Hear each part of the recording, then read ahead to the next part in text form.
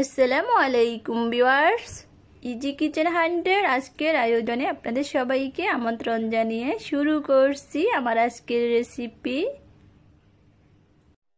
পয়লা বৈশাখের অন্যতম আকর্ষণ থাকে ফান্তা ইলিশ, কিন্তু এবার রোজা এবং বৈশাখ একসাথে হওয়ার কারণে ফান্তা ইলিশ খাওয়া হবে না, তাই বলে কি ইলিশ খাওয়া বাদ যাবে।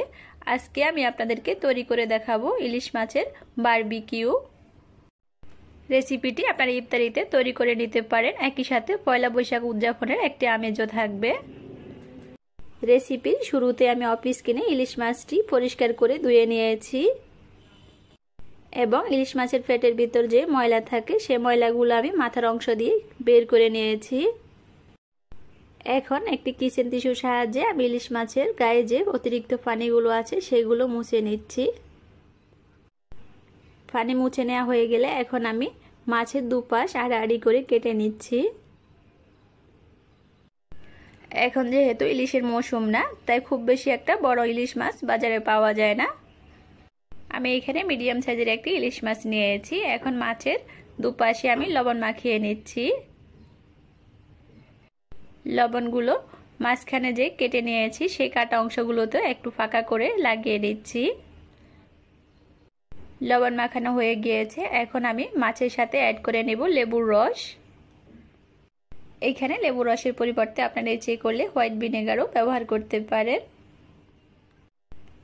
লেমন জুস দুপাশ থেকে খুব ভালোভাবে লাগিয়ে নেওয়া হয়ে গেলে এখন আমি রেস্টে রেখে দেব কিছুক্ষণ। এদিকে আমি একটি মশলা তৈরি করে নেব। তার জন্য শুরুতে অ্যাড করে নিচ্ছি দেড় চা চামচ পরিমাণ আদা এবং রসুন বাটা। অর্থাৎ আমি এখানে এক চা চামচ পরিমাণ রসুন বাটার সাথে অ্যাড করে নিয়েছি, আদা চা চামচ পরিমাণ আদা বাটা। অ্যাড করে দিচ্ছি এক চা চামচ পরিমাণ চিলি ফ্লেক্স এক চা চামচ পরিমাণ সয়া সস এবং এক চা চামচ পরিমাণ ওয়েস্টার সস এখন অ্যাড করে দিচ্ছি এক চা চামচ পরিমাণ পাপরিকা পাউডার এখানে আপনার ইচ্ছে করলে এর পরিবর্তে রেড ফুড কালারও ব্যবহার করতে পারেন। কিংবা ইচ্ছে করলে পুরো বিষয়টি স্কিপও করতে পারেন। অ্যাড করে দিয়েছি দুই চা চামচ পরিমাণ লাল মরিচ গুঁড়ো। আমি এখানে যে মরিচ গুঁড়ো ব্যবহার করছি, তাতে জালের পরিমাণ কম ছিল, তাই দুই চা চামচ পরিমাণ ব্যবহার করছি। আপনাদের মরিচে যদি জাল বেশি থাকে, সেক্ষেত্রে এক চা চামচ পরিমাণ ব্যবহার করবেন। কথা বলতে বলতে অ্যাড করে দিয়েছি এক টেবিল চামচ পরিমাণ সর্ষের তেল এবং ওয়ান ফোর চা চামচ পরিমাণ লবণ। এখানে লবণের পরিমাণটা কম করে ব্যবহার করতে হবে। কারণ এখানে যে সসগুলো ব্যবহার করছি, সেগুলোতে লবণ দেয়া আছে। সবগুলো উপকরণ একসাথে মিলিয়ে নেওয়া হয়ে গেলে এখন আমি এতে অ্যাড করে দিচ্ছি দুই চা চামচ পরিমাণ কর্নফ্লাওয়ার এখানে আপনাদের কারও হাতের কাছে যদি কর্নফ্লাওয়ার না থাকে, সেক্ষেত্রে আপনারা চালের গুঁড়ো কিংবা ময়দাও ব্যবহার করতে পারেন। কর্নফ্লাওয়ার অ্যাড করার পর আমি দ্বিতীয়বারে সবগুলো উপকরণ একসাথে ভালো করে মিলিয়ে একটি পেস্ট তৈরি করে নিচ্ছি। সবগুলো উপকরণ একসাথে মিলিয়ে নেওয়ার পর পেস্টগুলো দেখতে ঠিক এমন হয়েছে। এবং এর থেকে খুব সুন্দর একটি স্মেল বের হচ্ছে। এই অবস্থায় আমি পেস্টগুলো মাছের গায়ের সাথে লাগিয়ে নিচ্ছি। আমি এখানে মশলার পেস্টগুলো হাত দিয়ে খুব ভালোভাবে মাছের গায়ের সাথে লাগিয়ে নিচ্ছি। আপনার ইচ্ছে করলে এখানে ব্রাশ দিয়েও মাছের গায়ের সাথে মশলাগুলো লাগিয়ে নিতে পারেন। আমার কাছে হাত দিয়ে সুবিধা মনে হয়, তাই আমি এখানে হাত দিয়ে লাগিয়ে নিচ্ছি। মাছের দুপাশে খুব ভালোভাবে মশলার পেস্টগুলো লাগিয়ে নেওয়া হয়ে গেছে। এবং চেষ্টা করবেন পরবর্তীতে মাছটি কুক করার সময় অ্যাড করার জন্য কিছু মশলার পেস্ট রেখে দিতে। আমি এখানে কিছু পেস্ট রেখে দিয়েছি যা আপনাদেরকে স্কিনে দেখিয়ে দিয়েছি। এখন মাছটি আমি উপর থেকে প্লাস্টিক র্যাপিং পেপার দিয়ে কভার করে নেব। এবং প্লাস্টিক র্যাপিং পেপার দিয়ে কভার করে নিয়ে আমি মাছটি ডিপ ফ্রিজে রেখে দেব আধা ঘণ্টার জন্য। আপনারা ইচ্ছে করলে ওভারনাইটও ডিপ ফ্রিজে রেখে দিতে পারেন। সেক্ষেত্রে আরও বেশি ভালো হবে। ফিরে এলাম আরও আধা ঘণ্টা পর। এখন আমি চুলায় একটি গ্রিল ফ্যান গরম করে নিয়ে তাতে অ্যাড করে দিয়েছি এক টেবিল চামচ পরিমাণ সর্ষের তেল। আমি আজকে যেহেতু ইলিশ মাছের বারবিকিউ তৈরি করছি, তাই এখানে আমি সর্ষের তেল ব্যবহার করছি। আপনারা ইচ্ছে করলে এর পরিবর্তে অন্য যে কোনো তেলও ব্যবহার করতে পারেন।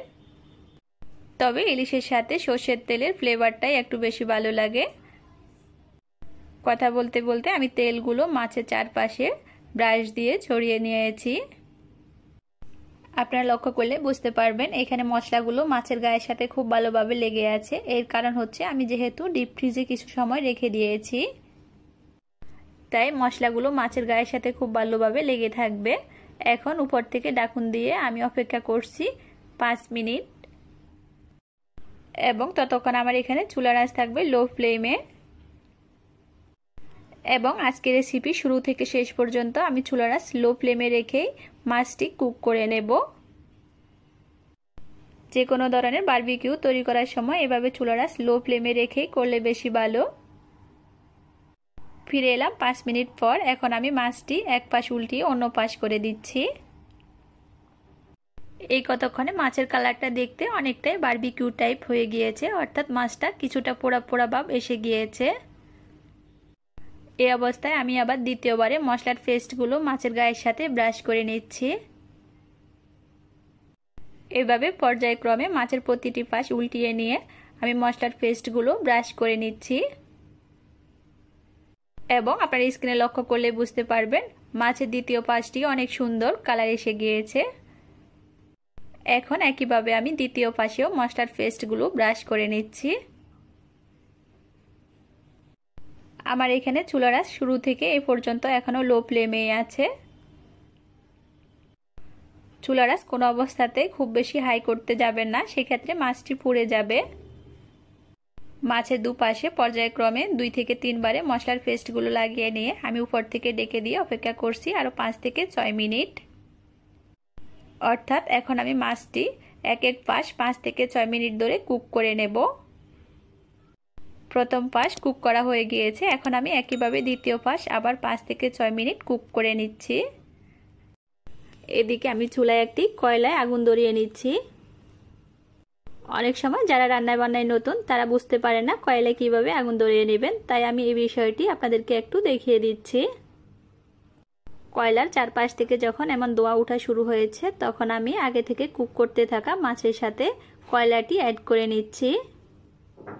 এখানে আপনার ইচ্ছে করলে কয়লাটি সরাসরিও অ্যাড করে নিতে পারেন কিংবা ফয়েল পেপারে মুড়িও নিতে পারেন।